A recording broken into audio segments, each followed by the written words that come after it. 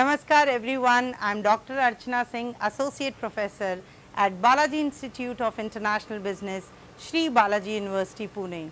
And today we are going to discuss a lot on the basic terminologies which we use in a technique called ratio analysis. Ratio analysis is a wonderful management accounting technique which helps the managers to take the right decisions related to profitability, solvency, liquidity, financial viability and about the management efficiency. So, it leads to the right decisions for attaining the goals and objective of the business. What are we going to discuss and talk about?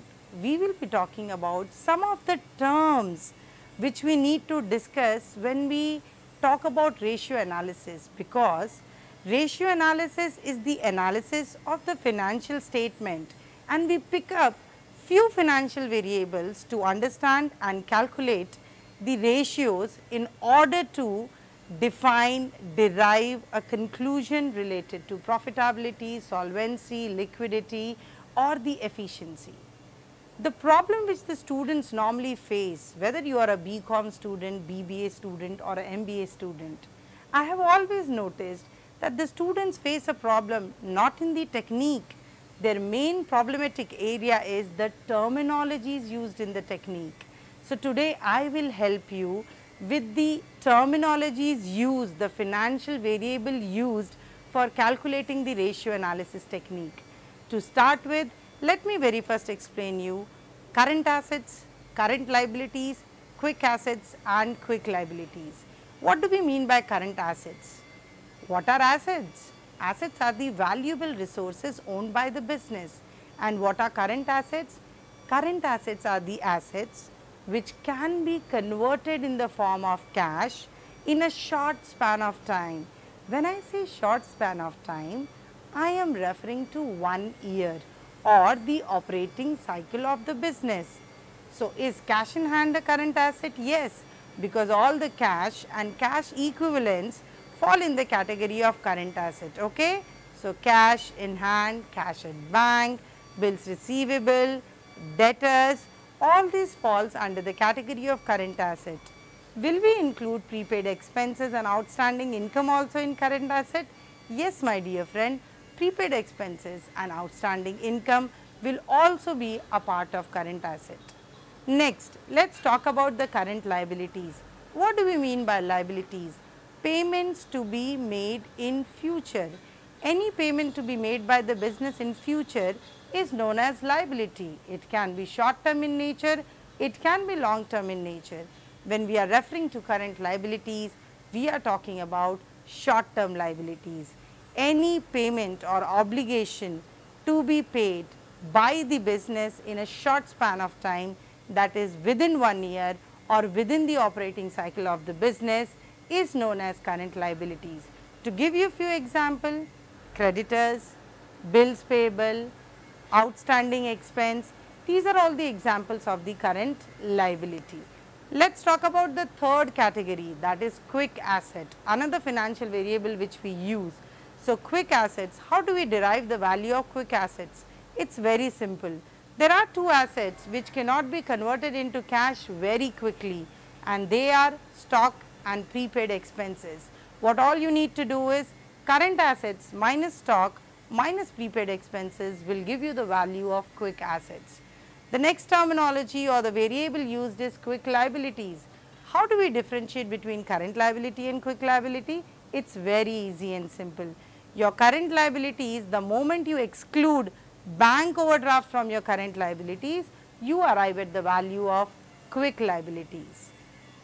Now, let us discuss some of the terms which are very basic, but students get confused while talking about it. The first term is revenue. What do I mean by revenue? Revenue in the business means income. How does a business earn income? A business earns income either from the sales of goods and services or a business might get income from other sources. What is this income from other sources? If the business has invested into shares or debentures of any other company or any other organization, they would receive dividend interest on the same. So, is this the is this the income from the regular business operation? The answer is loud and clear. No. this would come under the category of income from other sources. So, please remember when we say revenue from operation we are only referring to sales do not include the income from other sources. Now, the revenue term takes me to the other term cost of revenue from operations. What is cost of revenue from operations? It is also known as cost of goods sold. We do call it as COGS. How do we calculate COGS? The calculation is very easy and simple. Opening stock plus purchases plus direct expenses minus closing stock gives you the value of COGS. Let me illustrate and simplify this for you with an example. Let us say that the opening stock at the starting of the year was 1 lakh. So, we had goods worth rupees 1 lakh to be sold this year and the costing of that goods was 1 lakh. We purchased goods worth rupees another 1 lakh. So, now we have a stock of 2 lakhs. For purchasing the 1 lakh worth stock, we had spent almost another 50,000 as direct expenses. Those were the expenses on purchase of the goods. So, now what is the value of the stock I have? 2 lakh 50,000, right? And at the end of the year, 1 lakh was unsold.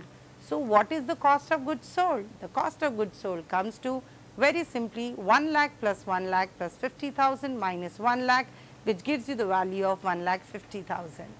Another important term my dear friends in ratio analysis is the operating cost. Please do not take tensions. If you know how to calculate COGS, COGS is an element and an important component of operating cost. Along with the cost of goods sold, the moment you add the operating expenses, you get the value of operating cost.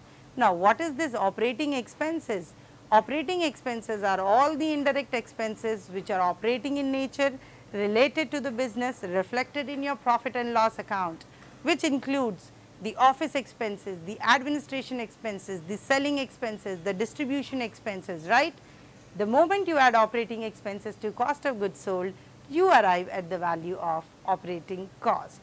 Now, four more terms at the end I would like to discuss with you before I conclude. The next term is capital employed. What do we mean by capital employed?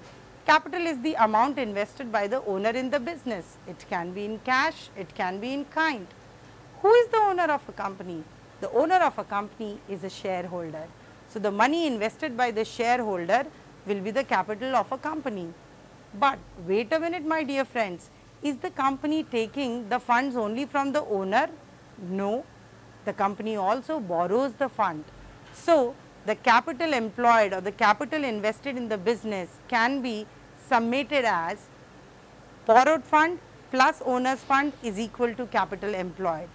Now, from this I get another term. What do I mean by owner's fund and how do I calculate it? Owner's fund, shareholder's fund or equity uh, means one and the same. I am referring to the same financial variable the moment I say owner's fund, equity or shareholder's fund. How do we calculate it? What belongs to the owner? Add it up and you will get the value.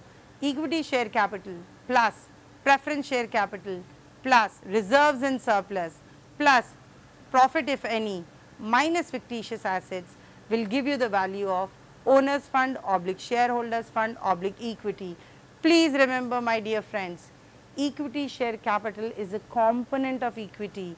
Equity is a broader term equity share capital is an element or a component of equity, right. Let us talk about the borrowed funds.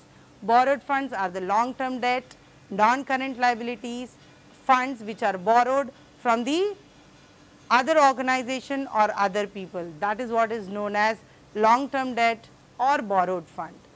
The last three terms which I would like to discuss with you is the gross profit, net profit and the operating profit. What do we mean by gross profit? Do you know to prepare a trading account? If you know that the answer is right there in your account. How can I put the value of GP in the form of equation? The value of GP in the form of equation is sales minus cost of goods sold. How do I calculate the net profit?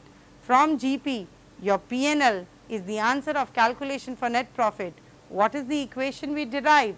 The equation which we derive is gross profit minus operating expenses minus non-operating expenses plus non-operating income will give you the value of net profit. Now, last but not the least, The next term is operating profit.